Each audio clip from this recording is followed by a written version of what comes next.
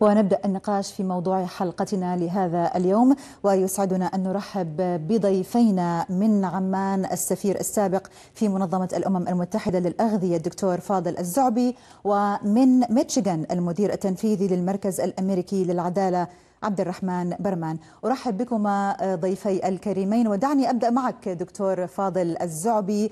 من التقرير الأممي الذي يقول بأن مستويات الجوع وسوء التغذية في المنطقة العربية قد وصلت إلى مستويات حرجة وانعدام الأمن الغذائي المعتدل أو الشديد يواصل منحناه التصاعدي. دعنا بداية نلقي نظرة على واقع الأمن الغذائي في المنطقة العربية والعالم.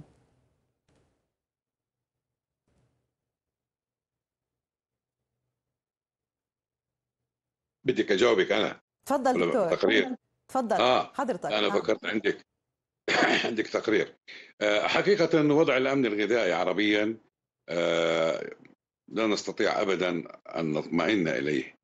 يعني بقراءة بسيطة إذا ما نظرنا إلى المؤشر الكبير اللي هو انتشار انعدام الأمن الغذائي فهو عالميا بحدود العشرة في المية ولكن عربيا هو 11.5% هذا رقم آه، معدل عالي وإذا ما نظرنا إلى المؤشر الآخر وهو انتشار نقص التغذية فنجده عالميا هو 9% ونحن بحدود 12% إلا شحطة. يعني 11.8 بالعشرة بالمية مم. آه، إضافة إلى ال- ال- القياسات الأخرى آه، ما بدي أدخل فيها بالتفصيل تقريركم آه، أعطى وجهة نظر شاملة وكاملة. لكن ما يقلقني هو قدرة المواطن العربي على الوصول إلى غذاء صحي مم. فنجدها في العالم أن آه، من هم غير قادرين على الوصول إلى غذاء صحي 42% بينما في الوطن العربي مم. بالرغم من كل الموارد. عندما يقارب 2 وست 52 و6 بالعشرة في المية مم. لا يستطيع الحصول لا يستطيعون الحصول على غذاء نعم. صحي نعم. هذا مؤشر خطير لأنه هذا سوف يؤدي لاحقا صحيح إلى ما هو انعدام الأمن الغذائي وانتشار طيب نقص وهذا المؤشر الخطير لكن دكتور فاضل وفق تقرير أممي الجوع في العالم العربي تحديدا ارتفع إلى 90% في عشرين عاما أو في غضون عشرين عام. برأيك ما هي أبرز المشاكل الآن المزمنة والتحديات التي تعوق آه، دون تحقيق آه، حالة الاكتفاء الذاتي والأمن الغذائي بصورة مستدامة علما بأن هنالك إمكانات جبارة في العديد من المناطق العربية؟ يعني فاقد الشيء لا يعطيه.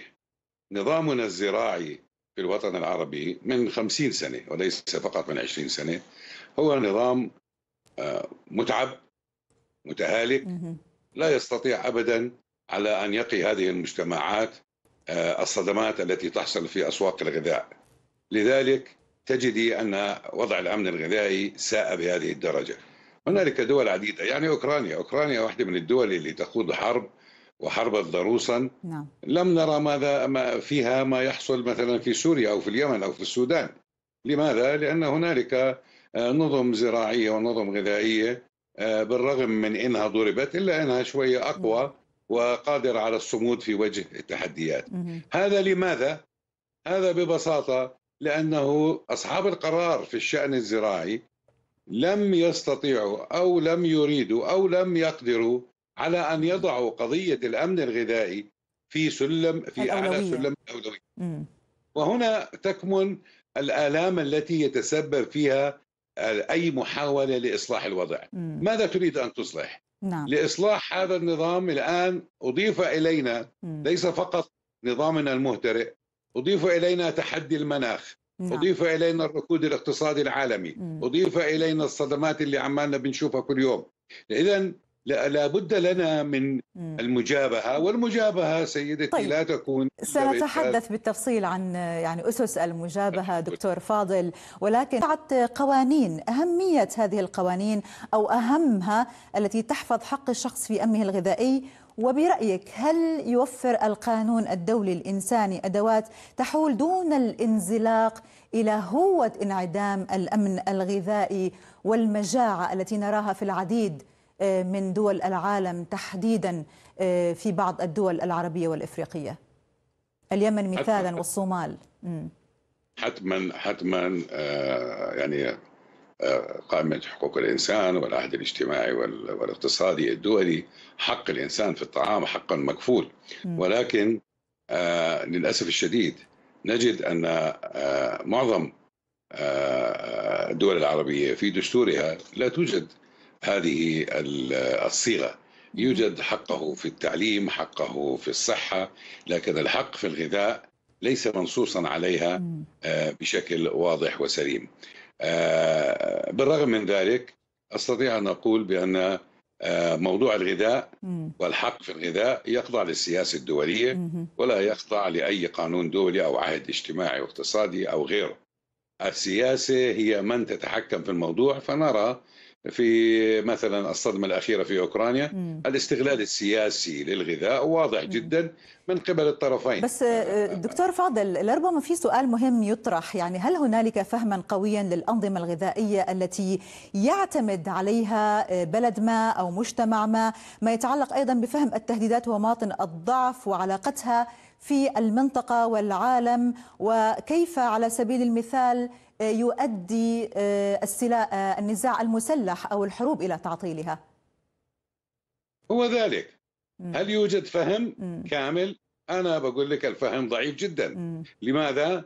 لأنه إذا عندك استيعاب واضح لنظم الغذاء فلا بد أن يكون لديك من الخطط الاستباقية نعم. للصدمات. بغض النظر أنه في حالة وجود صدمة فهنالك خطط بديلة لمصادر بديلة لطرق إمداد بديلة لموارد مالية أيضا بديلة بحيث أن تضمن حق المواطن في الغذاء. ولكن هل يوجد؟ يعني خليني أقول لك هو آه، في منطقتنا العربية ضعيف ومتفاوت.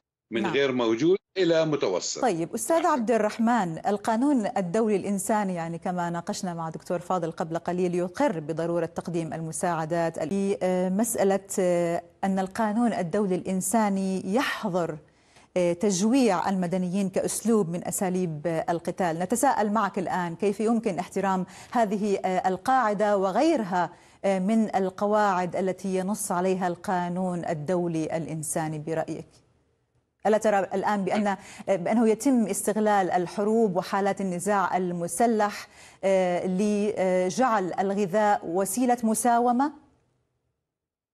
ما هو هو هذا اللي كنت بدي أحكيه آه، الأخلاق الإثكس آه، اللي غالبا هي الضمان الوحيد لوصول المساعدات والضمان الوحيد للعدالة. آه، في هذه المساعدات وتوفيرها ولكن للأسف الشديد هذه لا يوجد لها مقياس ولا يوجد عليها محاسبة ويمكن تجييرها بين فترة وأخرى للمصالح السياسية واستغلالها بشكل سياسي بحيث آه، تكون مطاطة ولا تؤدي الغرض آه، اللي ذكرنا اللي, اللي مذكورة من أجله. وهذا واضح ليس فقط في اليمن في الكثير من المناطق التي يكون فيها نزاع وصراع وتكون قدرة الأمم المتحدة على الوصول إلى الجميع محدودة فتعتمد على شركائها المحليين. هنا تبدأ الطامة الكبرى بأن الشركاء المحليين يمكن التأثير عليهم بالسلاح ببساطة من أصحاب القوى في تلك المناطق. وهنا آه، راحت راح الهدف آه، من هذه المساعدات. لذلك ارجع أرجع بحكي لك مرة ثانية إنه للأسف الشديد لا يوجد قانون ولا يوجد أداة بيد الأمم المتحدة لمحاسبة آه، آه، الأخلاقيات التي تمنع من وصول الغذاء نعم. ولكن يبقى اعتمادنا فقط على آه، النوايا التي من الممكن أن تصل طيب. إلى مرحلة. مليون شخص يعانون الإنعدام الغذائي جراء فقط ما يتعلق بالنزاعات المسلحة. دكتور فاضل أشرتم في أحد تصريحاتكم إلى أن الجهود العربية الحالية آه، رغم تزايدها إلا أنها لا ترقى إلى المستوى المطلوب وتنحصر في خانة جهود مبعثرة آه، كما وصفتموها. كيف من الممكن الآن توحيد هذه آه، الجهود لجهة جهد حقيقي ومنظم. للاسف الشديد يعني ما ما ذكرته سابقا أكرره الآن. ما زالت هذه الجهود مبعثرة ولا ترتقي إلى مستوى الحدث. يعني خليني آه، أذكرك في بداية تقريرك. ذكرتي بانه مؤتمر آه، القمه العربي القادم في نواكشوط راح يكون من أهم النقاط عليه الامن الغذائي. طيب ما كان في القمة الماضية اللي في الجزائر؟ نعم. من أهم النقاط. وكان في القمة الحالية مم. اللي السنة اللي صارت السنة في الرياض مهم. وراح يكون في السنة الثانية ثلاث نعم. سنوات ثلاث سنوات بكون بكون زادت نسبة الجوع نعم في الوطن العربي أضعاف إذا إذا ضرورة أن تفعل جميع مخرجات هذه القمم ولكن عطفا على جزئية مهمة وبدقيقة لو تكرمت دكتور فاضل آه، ما يتعلق أيضا بتداعيات الحرب في أوكرانيا والجهود المرتبطة آه، فيما يتعلق بالتوصل إلى اتفاقيات منها اتفاقية الحبوب التي آه، كان لتركيا النصيب الأكبر في التوصل إليها وتفعيلها. أهمية آه، مثل هذه الجهود. يعني هذه الاتفاقية لا أحد ينكر بأنها ساهمت في إيصال الغذاء وتحديدا الحبوب إلى الأسواق العالمية. وأدت إلى استقرار الغذاء وأدت إلى انخفاض الأسعار. خلال عام واحد شاهدنا انخفاض الأسعار حتى أقل مما كانت عليه قبل بدء الحرب. وهذه واضحة جدا. الآن أتصور إنه آه، تركيا ما زالت مستمرة بجهودها وراح تنجح.